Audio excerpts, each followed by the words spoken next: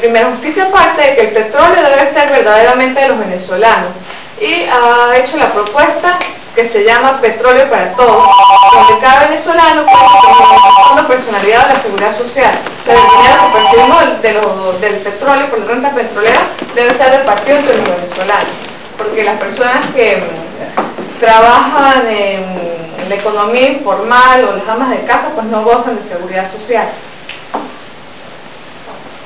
Les voy a hablar un poco sobre lo que ha sido el presupuesto que tiene contemplado el gobierno para el año 2009. Por supuesto, un presupuesto que no está contemplado mejorar la calidad de vida de los venezolanos. Ha hecho el eh, presupuesto con base en 60 dólares el precio del barril, cuando volvemos que está alrededor de 35, 40 dólares. Y puede ser esa la, la tendencia durante todo el año en el 2008 pues había hecho un presupuesto con base en 35 dólares el barril y obtuvo, o sea, hubo precios hasta de 140 dólares el barril. Según el propio, la propia Oficina Nacional de Presupuesto, vemos que el, la defensa nacional, o sea, la compra de armamento es lo único que sube en un 4% durante el 2009, en el presupuesto del 2009. Y la partida para política, seguridad y orden público se reduce en un 25%, la partida de administración de justicia y del Ministerio Público la disminuye en un 22%. Por ejemplo, lo que destina para defensa nacional es cinco veces más de lo asignado a política, seguridad y orden público. Venezuela durante el 2008 se ubicó como el primer país de Latinoamérica en compra de armas y el noveno en el mundo el presupuesto disminuye la asignación en un 17% para la educación. la educación superior lo reduce en un 11%, que es las universidades. Y para el resto de la educación lo reduce en un 21%. El sector salud en el presupuesto del 2009 pues, ha hecho una reducción del 14%.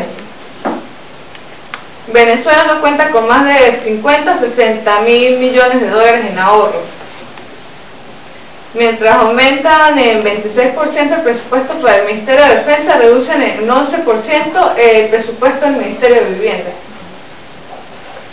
En estos 10 años de viajes permanentes, el presidente ha regalado más de 40 mil millones de dólares y la suma pues sigue creciendo cada vez más cuando sale de gira y cuando saca la chequera con el dinero de todos los venezolanos para repartirlo con sus aliados.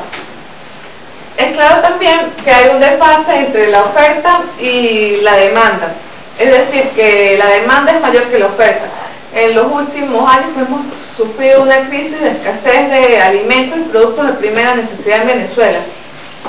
Por ejemplo, ha habido escasez de carne, de pollo, cuando son productos que se producen en Venezuela. Como no hay incentivo al, sector privado, además Chávez importa leche, carne, huevos de otros países, entonces, este, a diario los venezolanos cuando van al supermercado, pues de repente se encuentran no hay la harina, no tienen aceite, no tienen leche, no tienen carne, todas las semanas es lo mismo.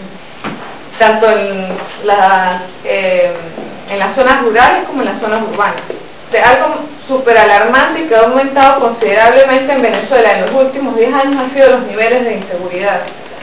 O sea, lo tenía todos los gráficos, pero les voy a decir más o menos. Eh, por ejemplo, en 1999 murieron en forma violenta 5.968 eh, venezolanos. Ya, por ejemplo, para el 2003 esta cifra había aumentado de a 11.342 y en el 2007 aumentaron 13 a 13.156 venezolanos que murieron en manos de, de Lampa y de manera violenta. Cada media hora muere un venezolano en, en forma violenta, producto de la inseguridad creciente y según todos los estudios de opinión en Venezuela, cerca del 70% de los venezolanos consideran que el principal problema que los aqueja a diario es la inseguridad.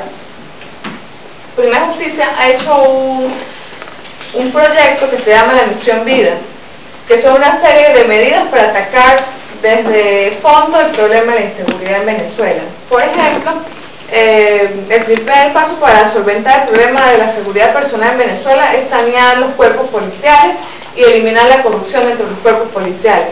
Se debe aumentar el presupuesto a los organismos policiales nacionales, así como también reorientar los cuerpos policiales al trabajo de la policía comunitaria, implementar programas voluntarios, trabajar directamente con las universidades en la parte de asesorías para contrarrestar el delito, para bajar los niveles de inseguridad.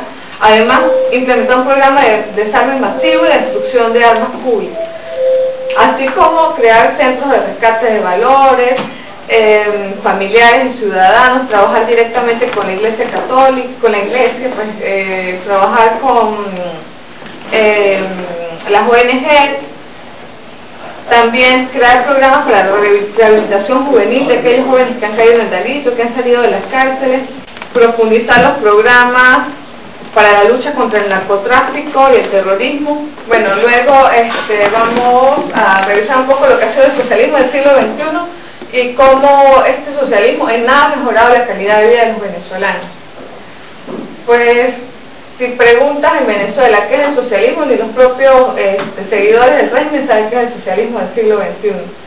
Lo que sí podemos decir que es una mezcla de caudillismo, de colectivismo, de militarización de las estructuras del poder.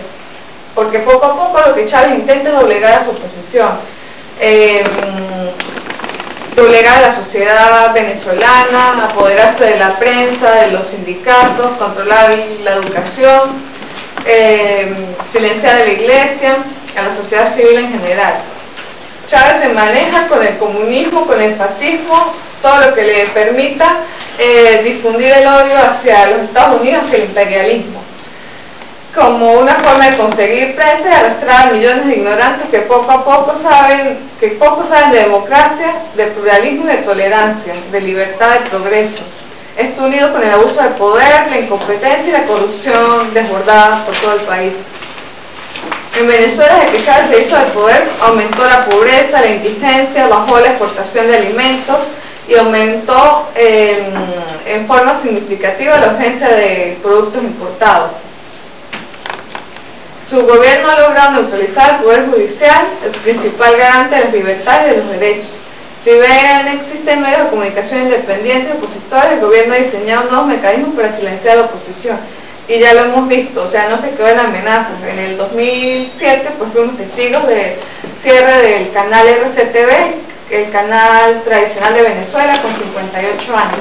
Actualmente amenaza al canal Globovisión eh, con el cierre, cantidad de, de multas siempre están este, haciéndole seguimiento, em, han amenazado a periodistas de la televisora, de Globovisión, han sido perseguidos. A pesar de que todavía hay sindicatos independientes, el gobierno ha vulnerado sistemáticamente los derechos de los trabajadores y ha fomentado el surgimiento de sindicatos alineados con el oficialismo. Hay defensores de los derechos humanos comprometidos con la causa, pero han sido objeto de agresiones verbales y de acoso judicial. Lo que está claro es que el socialismo eh, se sustenta en la manipulación de los seres humanos, que lo que lo quiere es alcanzar em, de manera totalitaria y de forma extrema y repudiable el poder a costa de lo que sea. El socialismo pone en riesgo la libertad de expresión e información, incluido el acceso a los particulares a la propiedad, eh, la libertad de la educación, la proyección del derecho de los padres a educar a sus hijos, la libertad de cultos religiosos, así como también la libertad de la creación cultural, intelectual y artística. Lo que sí les puedo decir con mucha firmeza es que Venezuela es un país con más futuro que pasado y que seguiremos luchando todos los días por recuperar nuevos espacios de poder y por conservar la democracia.